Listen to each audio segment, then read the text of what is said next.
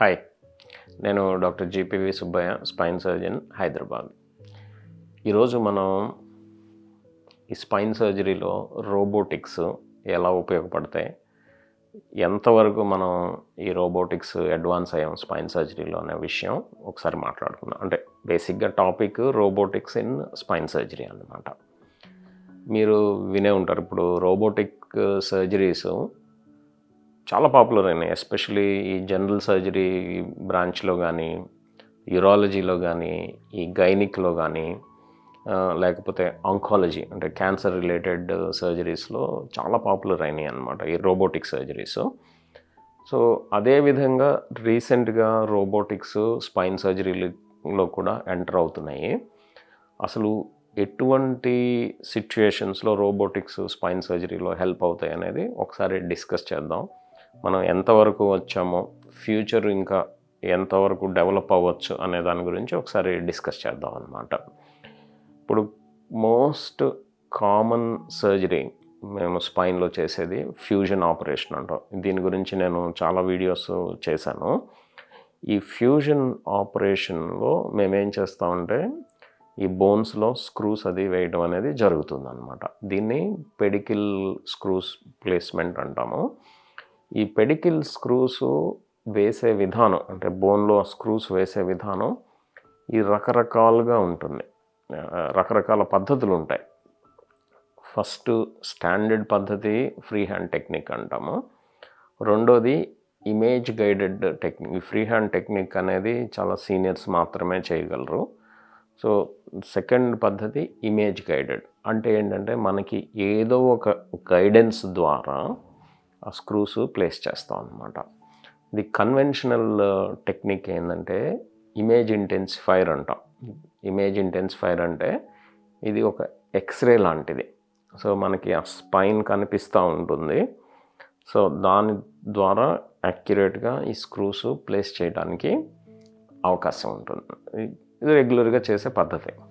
కానీ దీంతో ఒక డిసడ్వాంటేజ్ ఏంటంటే మీరు ఎక్స్రే చూసుంటారు. ఈ ఎక్స్రేస్ అనేవి ఓన్లీ టూ డైమెన్షనల్ పిక్చర్స్ మాత్రమే వస్తాయి. థర్డ్ డైమెన్షన్ మనకి రాదు. అదొకటి డిసడ్వాంటేజ్ రెండో డిసడ్వాంటేజ్ ఏంటంటే ఈ ఇమేజ్ ఇంటెన్సిఫైర్ అనేది ఎక్స్రే మాదిరిగానే రేడియేషన్ అనమాట అంటే సర్జన్కి సర్జికల్ టీమ్కి ఎనస్థెటిస్ట్కి అండ్ ఈవెన్ పేషెంట్కి కూడా కొంత రేడియేషన్ ఎక్స్పోజర్ uh, ఉండే అవకాశాలు ఉన్నాయి. కానీ ఎక్కువగా సర్జికల్ టీమ్కి ఎందుకంటే వాళ్ళు రిపీటెడ్గా ఈ సర్జరీస్ చేస్తారు కాబట్టి వాళ్ళకి ఈ రేడియేషన్ రిస్క్ చాలా ఎక్కువగా ఉంటుందన్నమాట. సో ఇవి disadvantages image guided screws place చేయడం అనేది. రెండోది ఇప్పుడు కొత్తగా మనకి అందుబాటులోకి వస్తుంది ఏంటంటే త్రీ డైమెన్షనల్ ఇమేజింగ్ టెక్నిక్స్ దీన్నే నావిగేషన్ టెక్నిక్స్ అంటాం అనమాట సో మీకు చెప్పాను కదండి ఇమేజ్ ఇంటి ఇంటెన్సిఫైర్ పద్ధతిలో ఓన్లీ టూ డైమెన్షనల్ ఇమేజెస్ మాత్రమే వస్తాయి. కానీ ఈ త్రీ డైమెన్షనల్ నావిగేషన్ పద్ధతులు త్రీ డైమెన్షన్స్ వస్తాయి అన్నమాట అగైన్ ఇది సిటీ స్కాన్ బేస్డ్ మెథడ్ మీకు తెలిసే ఉంటుంది సిటీ స్కాన్ తోటి రేడియేషన్ ఉండటానికి. అవకాశాలు ఉంటాయి.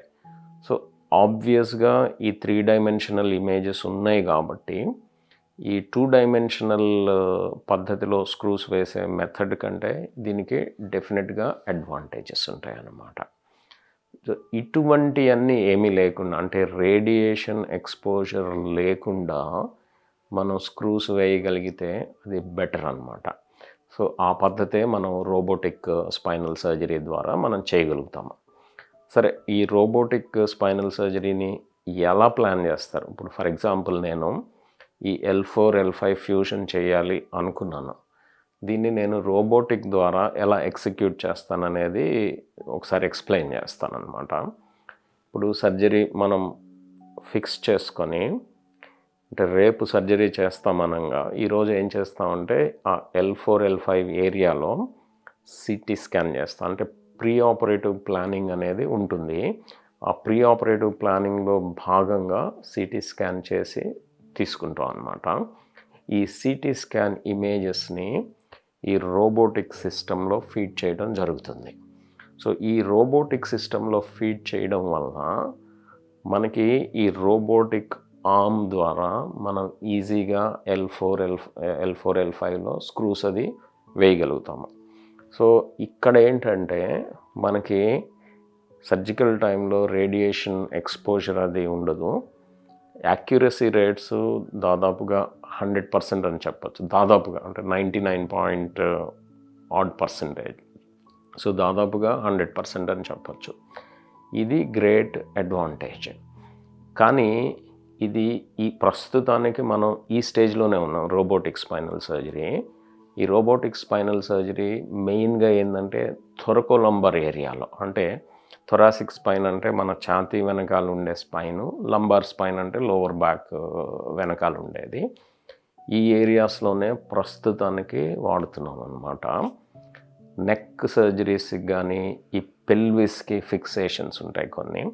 ఈ పెల్విస్ ఫిక్సేషన్ మెథడ్స్ కానీ ప్రస్తుతానికి రోబోటిక్ సిస్టమ్స్ ఆ స్టేజ్కి ఇంకా రాలేదన్నమాట. సో ఇది ఫ్యూచర్లో చాలా కంపెనీస్ వీటిల్ని కూడా డెవలప్ చేయడానికి ట్రై చేస్తున్నాయి. సో డెఫినెట్గా అడ్వాన్సెస్ స్పీడ్గానే వస్తాయి. ఇది ఒక ఇంప్రూవ్మెంట్ రావాల్సిన ఏరియా. ఇక రెండో ఇంప్రూవ్మెంట్ మనం చూస్తుంది ఏంటంటే మనం సెకండ్ కామన్ సర్జరీ స్పైన్లో చేసేది ఈ నర్వ్స్ మీద కంప్రెషన్ అది రిలీవ్ చేయడానికి ట్రై చేస్తాము. సో యాడిక్వసీ మనం ఎంత యాక్యురేట్గా నర్వ్స్ మీద ప్రెషర్ రిలీవ్ చేయగలిగా గలిగామనేది మనకు తెలియగలిగితే అది రోబోటిక్ సిస్టమ్స్ ద్వారా డెవలప్ చేయడానికి ట్రై చేస్తున్నారు.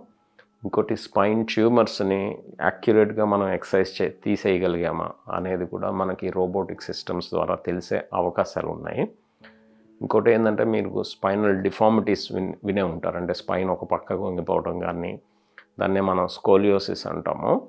అదే ముందుకు వంగిపోవడం గూని లాంటి కైఫోసిస్ అంటాం.